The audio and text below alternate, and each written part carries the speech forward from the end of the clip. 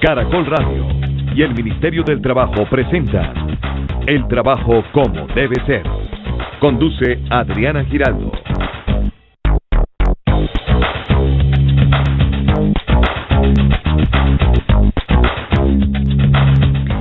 Buenos días, nuevamente estamos con ustedes en el trabajo como debe ser. Esta es una alianza entre el Ministerio del Trabajo y Caracol Radio, pues que lo que busca es acercar a los colombianos al mundo laboral, al mundo del trabajo. Y hoy tenemos un tema que nos da mucho gusto presentarles en este en esta mañana de sábado, porque favorece a los pensionados de todo el país. Eh, dentro de este marco caben 700 mil personas que podrán tener acceso a algunos beneficios que ofrecen las cajas de compensación. Así es, Adriana. Buenos días, don Samuel. Sí, señora, buenos días. Hace menos de un mes el gobierno reglamentó la vinculación de los pensionados a las cajas de compensación familiar. Esto se estableció a través de una ley, es la 1643 del año pasado, que eh, reglamentó o que dispuso que los pensionados que devengan hasta un salario y medio mínimo legal mensual vigente. ¿Eso cuánto es? Ahorita le hacemos las cuentas y decimos, Son más o menos 900 mil pesos. Ok. Tendrían derecho a los servicios que hoy disfrutan los trabajadores activos. Venga, tengo el dato exacto, 924 mil pesos. Las personas que reciben hasta 924 mil pesos netos, supongo yo, al mes, son las que tienen eh, este Mm, beneficio. Sí, gratuitamente. Gratuitamente, claro. Ah, porque quienes reciben más... La puerta se abrió para todos los pensionados, Ah, qué bien, hola. Pero los que tienen, los que devengan hasta un salario y medio mínimo legal mensual vigente, tienen acceso a estos beneficios de manera gratuita. ¿Y cuáles son esos beneficios? Estamos hablando de recreación, de deporte, de cultura, todo ello sin costo alguno. Y ahorita el gobierno estudió el decreto 867 este año en el que dicta medidas para facilitar el acceso de los pensionados a los servicios de las cajas de compensación, de lo que estamos hablando. Mejor calidad de vida para estos 700 mil eh, pensionados que están cubiertos eh, con, este, con esta nueva reglamentación. Y desde ya estamos invitando a los colombianos que nos están oyendo a lo largo y ancho del país a que nos eh, llamen si quieren resolver alguna inquietud sobre este tema. Nos pueden llamar al 326-7608, esto es en Bogotá, pero tenemos una línea gratis nacional, don Samuel Salazar. Sí, es la 018000 111 465. Les repito, 018000 111 465. Muy bien, así es. eh, vamos eh, a desarrollar este tema de los beneficios gratuitos de las cajas de compensación para los 700 mil jubilados. Invitamos al viceministro de Empleo y Pensiones, doctor Juan Carlos Cortés. Bienvenido a Caracol. Qué rico tenerlo por acá esta mañana. Adriana, Samuel, queridos oyentes de Caracol, muy grato estar aquí en este programa para compartir particularmente este tema de la protección a los pensionados. Con él podrán hablar los oyentes que nos están eh, Escuchando. escuchando a lo largo y ancho del país. Pero empecemos a poner esto en contexto, doctor Juan Carlos. Gracias eh, nuevamente le digo por estar acá, sobre todo para responder las inquietudes de nuestros oyentes. Entonces, ¿de dónde la inquietud de generar mayores beneficios a nuestros pensionados? La sociedad, el gobierno mm, colombiano ha reconocido la importancia de fortalecer la protección de nuestros adultos mayores. Y esto se ve reflejado en varios frentes. Primero, ampliar la cobertura de la protección a la vejez. El Ministerio del Trabajo, Adriana y oyentes, viene comprometido primero con la universalización del programa Colombia Mayor. Asistencia, subsidios para los adultos mayores en condición de, de necesidad. Segundo, la puesta en, en, funcionamiento de los beneficios económicos periódicos, una alternativa para que las personas puedan ahorrar de manera flexible, voluntaria, para su vejez. Eh, pero adicionalmente a esto, la reglamentación de la pensión familiar, que entrará a funcionar en el segundo semestre de, de este año ya en su operación. Y, y ahora... Eh, Perdón, ¿esa cómo se llama? La, pensión familiar, pensión familiar. La pensión familiar, no olvidemos que es un instrumento para que las personas puedan sumar eh, tiempos de cotización o puedan sumar ahorros entre los cónyuges, entre los compañeros uh -huh. permanentes. Eh, pero todo esto ahora se, se, a esto se le suma esto, este crecimiento de la cobertura en materia de servicios para los pensionados. Sí, y, y, por eso esto no es una medida aislada, sino que obedece a una política integral que desde el Ministerio del Trabajo se ha implementado para fortalecer en la protección y mejorar la calidad de vida de los pensionados. Y aquí surge nuestro decreto, el decreto 867, que abre la puerta para que pensionados de hasta uno y medio salarios mínimos de mesada, 924 mil pesos, puedan acceder de manera gratuita, esto es sin cotización alguna, a los servicios de recreación, deporte y cultura que prestan las cajas de compensación familiar y realizando un aporte adicional podrán eh, recibir los otros beneficios. Pero ya vamos a mirar en detalle cómo opera el mecanismo. 326-7608 en Bogotá y don Samuel. 018-111-465. ¿Tiene inquietudes sobre sus derechos laborales?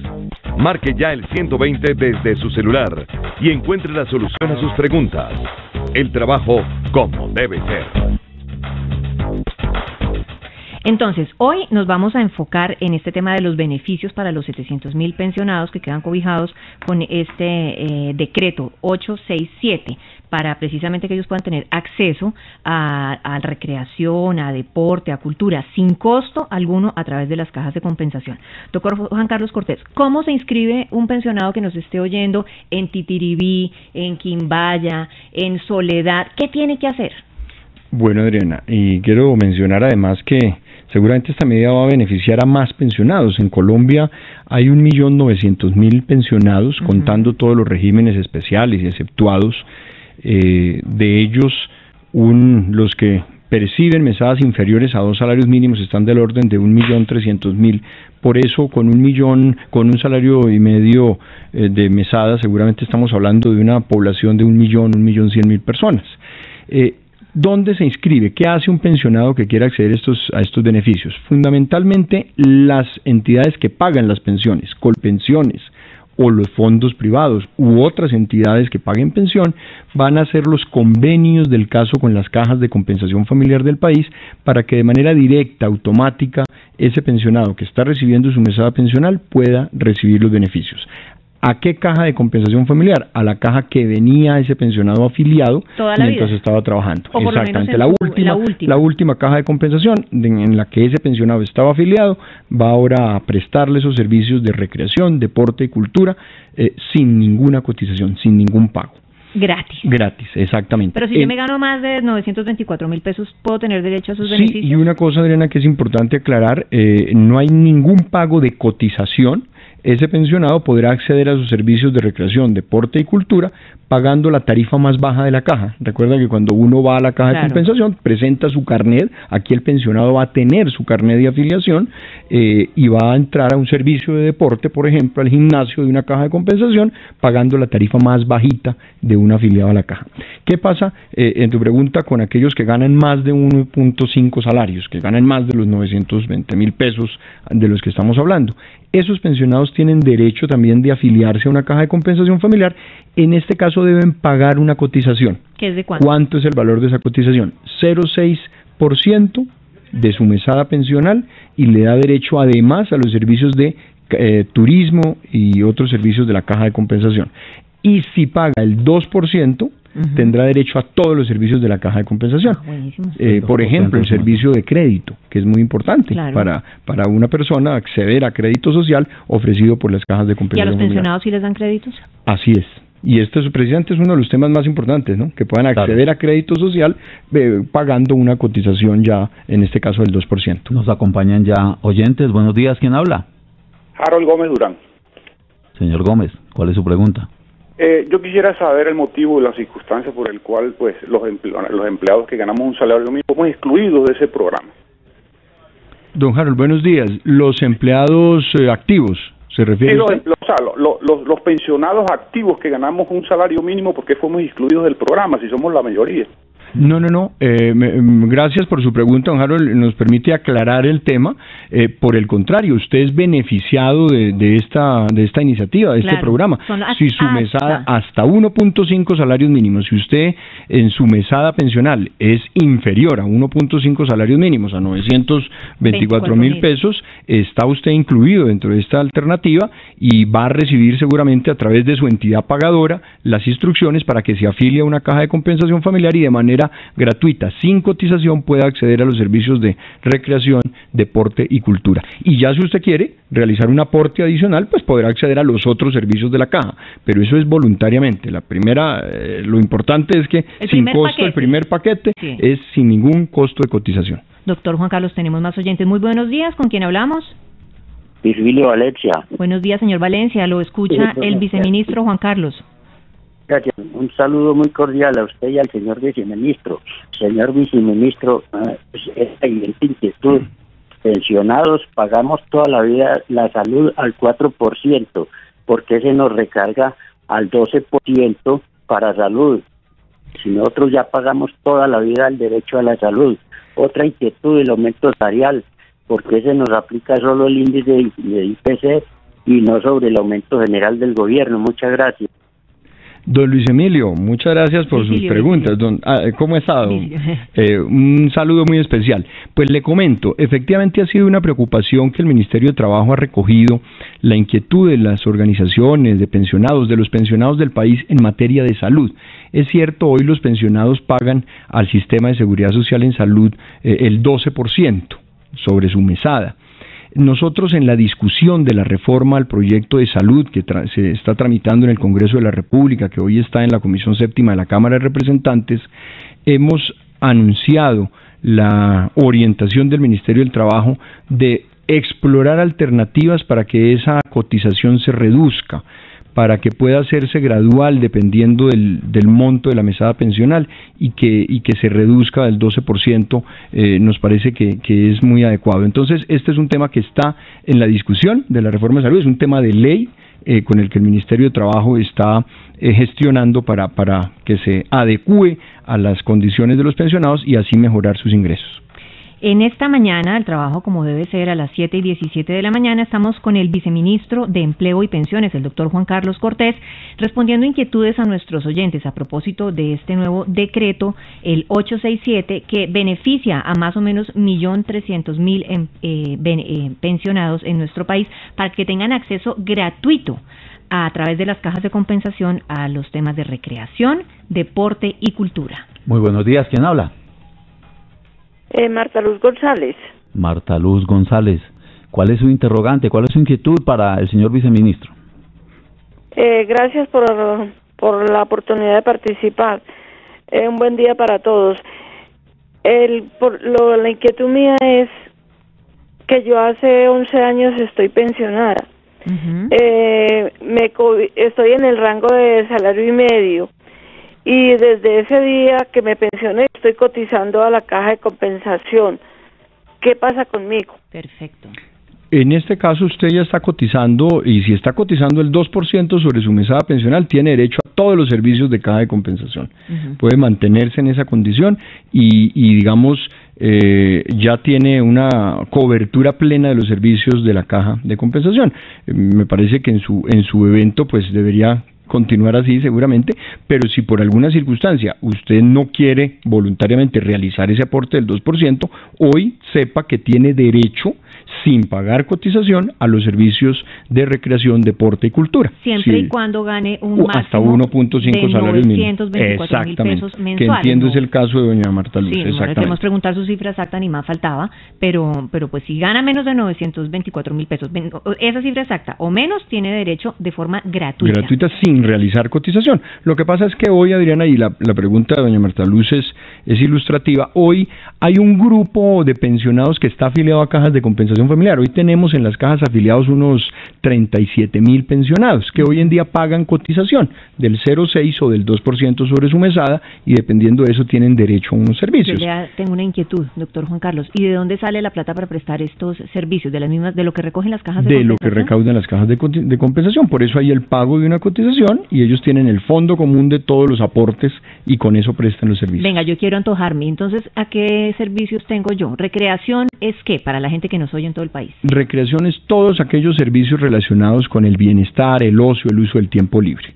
La posibilidad de ir a un centro mm, de una caja de compensación en una ciudad para acceder a, clases eh, y, en el campo artístico, en el campo cultural, en el campo de, del estar en un, en un centro eh, para jugar, para compartir con compañeros, con amigos, deporte, todo lo que tiene que ver con el desarrollo de actividades en esta materia, clases, cursos, eh, entonces, es el, panorama del portafolio de los servicios de las cajas en esta Y supongo yo que las cajas están sacando precisamente, como usted lo dice, en los portafolios para que eh, pues ellos conozcan cuáles son los beneficios que tienen, ¿no? Claro, Adriana, yo creo que eh, aquí hay detrás un tema muy importante, es que las cajas están creciendo en cobertura y con, con, lo, con una medida como esta lo que se busca es que los pensionados hagan uso, estén vinculados a las cajas de compensación familiar y así los tengamos cubiertos con servicios sociales de las cajas. Tenemos más preguntas. Muy buenos días. ¿Quién habla? Eh, Alberto Ardila. Señor Ardila, ¿cuál es su inquietud? Eh, gracias, doctor Juan Carlos. Mire, yo soy pensionado, gano más de dos salarios mínimos y estoy afiliado a una caja de compensación y no pago nada. Eh, disfruto, pues, de, tengo un carnet, puedo ir a comprar a los supermercados y utilizar los centros recreacionales, no pago nada. eso era alguna norma que había anteriormente, lo que pasa era que las eh, cajas de compensación no le daban cumplimiento. Pero entonces la inquietud es antes no pagaba y ahora voy a pagar. ¿Por qué? Eh, a ver, don, don, Alberto, pues miremos su, su, caso en detalle porque fundamentalmente hoy la vinculación de los pensionados se da a través del pago de una cotización. La ley 789 del 2002 dispuso que los pensionados pueden voluntariamente afiliarse a una caja de compensación pagando cotizaciones del 0,6 sobre su mesada para acceder a un paquete de servicios o del 2% sobre su mesada para acceder a la plenitud de los servicios, excepto el pago de cuota monetaria. Esta es la generalidad, digamos, esos 37 mil pensionados que hoy están afiliados a las cajas pagan uno u otro. Hoy lo que se hace con esta nueva política es que para los servicios de recreación, deporte y cultura no sea necesario pagar cotización siempre y cuando la mesada sea de hasta un salario y medio eh, en, el reconocimiento. ¿Posible algún régimen especial o algo? No, realmente el periodo de protección laboral, pero no hay ningún régimen que exceptúe, digamos, del pago de cotización. O sea, él se benefició de esa confusión. Sí, sí, sí, en una transición, algún caso muy particular. Algún caso muy particular. Tenemos más oyentes en línea. Muy buenos días, ¿con quién hablamos? Buenos días, le habla Jairo Venegas. Sí, don Jairo, ¿lo escucha el viceministro? Eh, señor viceministro, muy buenos días para pedirle una, un favor y en nombre de los pensionados de Colombia. El gobierno recientemente le quitó la carga prestacional de la carga, perdón, la carga del impuesto eh, que pagaban los empleadores para salud. Los pensionados pagamos el 12% de lo de salud. A ver si el gobierno del doctor Santos, así como le quitó la responsabilidad a los empleadores nos, nos eh, quita una carga a nosotros de bajarnos ese 12%, no, no se pide quitarlo todo, sino bajarle el 12%. Usted me va a decir que hasta tanto salario mínimo, no, eh, hasta tantos salarios eh, que, sumen dos salarios mínimos. No, eso tiene que ser equitativo y si vivimos en un país democrático, pues el rasero tiene que ser por igual para todo el mundo. Muchas gracias, señor ministro. Gracias, don Jairo. Un especial saludo. Le reitero que es eh, decisión del Ministerio del Trabajo que este tema, que debe ser resuelto por ley, porque es una materia que está regulada por ley por el Congreso de la República, se discuta en el trámite de la ley de reforma a la salud, eh, o en otra iniciativa legislativa y el Ministerio del Trabajo está acompañando esta pretensión, ajustar, reducir el monto del pago de la cotización a salud para los pensionados, eh, seguramente en una tabla proporcional por, por volumen de ingreso de pensión, de mesada pensional, pero reducirlo del 12%. ¿Le parece al Ministerio del Trabajo que esta es una medida importante que va a favor de la equidad y que contribuye a mejorar el bienestar de los pensionados en Colombia? Estamos en ese debate en el Congreso de la República e invitamos, por supuesto, a las asociaciones y a los pensionados a que, nos hagan llegar sus apoyos, sus aportes intelectuales sobre esta materia y vamos a dar ese debate en el Congreso de la República. No puede ser un pupitrazo, no puede ser, no, es, no es falta de intención suya. No es una decisión decisión del gobierno, es una decisión legislativa, obviamente que tiene unos efectos económicos que hay lugar, que hay que mirar para garantizar la sostenibilidad del sistema de salud, pero es claro que el Ministerio del Trabajo en la política de protección integral a la vejez considera que esta medida debe adoptarse eh, y debe eh, gestionarse escalonadamente una reducción en el pago de la cotización a salud por parte de los pensionados. Esta mañana en el trabajo como debe ser tenemos al viceministro de Empleo y Pensiones, Juan Carlos Cortés, desarrollando y resolviendo las inquietudes con nuestros oyentes a propósito del decreto 867 que beneficia a los pensionados de nuestro país para que tengan acceso gratuito en el caso de quienes ganan menos de salario y medio mínimo de pensión, es decir, 924 mil pesos, para que de manera gratuita, reiteramos, tengan acceso a través de las cajas de compensación de los beneficios de recreación, deporte y cultura. Y por encima de esta platica, con un porcentaje. Don Samuel. Sí, tenemos o nos acompañan más oyentes hasta ahora. Buenos días. Muy buenos días. ¿Cómo amanecieron? ¿Cómo me le va? ¿Cuál es su nombre? Muy bien, Rocío Osorio. Rocío. Vea, mi inquietud es la siguiente.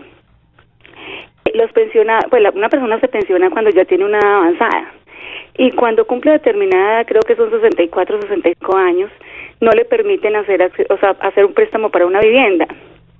Y pues yo siempre he pensado que una persona que, que, ha trabajado, que ha hecho algo por el país, que ha hecho algo por su familia, pues que tenga sus últimos años sin tener derecho a una vivienda, pues no me pese, porque pues lo mínimo que un ser humano debe tener es una vivienda propia. Sí, señora. siempre he tenido esa inquietud. Yo digo, ¿por qué los tratan así? Si yo, yo pienso que a los niños y a los ancianos se debe tratar con demasiada consideración. Esa es mi pregunta. Doña Rocío, muchas gracias. Pues aquí se abre una oportunidad precisamente para que se estructuren nuevos servicios para los pensionados. Aquí las cajas de compensación familiar tienen un gran reto. Las cajas han sido entidades promotoras del bienestar de los colombianos y tienen una dinámica institucional muy importante y ahora van a asumir este, esta nueva tarea precisamente para que en sus portafolios de servicios ellas puedan estructurar nuevos paquetes, nuevos beneficios para esta población que va a entrar a, disfrutar de estos servicios y, seguramente estas líneas de crédito van a ser consideradas para, para poder atender las necesidades de los pensionados. Sí, precisamente lo planteábamos hace unos segunditos, doña Rocío, y es que al tener las cajas de compensación, los beneficios, eh, los primeros que son los gratuitos son los de recreación, deporte y cultura, pero las personas que tengan la posibilidad de cotizar eh, un poquito más, ahí sí de pagar, no, ya no de manera gratuita, pueden tener eh, acceso a los otros beneficios de las cajas de compensación, es. decir, armar su paseo de fin de semana, sus vacaciones en los centros de recreación, en los hoteles esos lindísimos que hay en los llanos, que hay en Leticia, que hay, eh, bueno, por todas partes de nuestro país. ¿Cuántas cajas de compensación hay? Hay 43 cajas de compensación en 43. Pero también tienen acceso a los servicios de, de, crédito hipotecario, que seguramente al tener los beneficios, pues estudiará el caso para que pueda ella hacerse a su casita, que además se lo deseamos de corazón, porque qué delicia un país que proteja y respete a sus niños, a sus viejos, pero también a todas las personas, ¿sí o no? Así es, Verena. Sí, en este caso, si este pensionado aporta el 2% sobre su mesada, tendrá derecho a todas esas prestaciones, incluido el crédito. Por eso es llamativo también para que el pensionado pueda vincularse con un aporte, eh, obviamente, voluntario. Doctor Juan Carlos Cortés, se nos acabó el tiempo, pero como siempre, usted es bienvenido a esta casa radial, invitado. Mire, se nos pasó volando. Muy interesante el tema. Eh, estaremos con ustedes la siguiente semana en el trabajo como debe ser, don Samuel. Muy buenos días. Un feliz día para todos. Va a votar mañana, ¿no? Claro que sí. No le va a preguntar por quién, pero bueno, a votar mañana.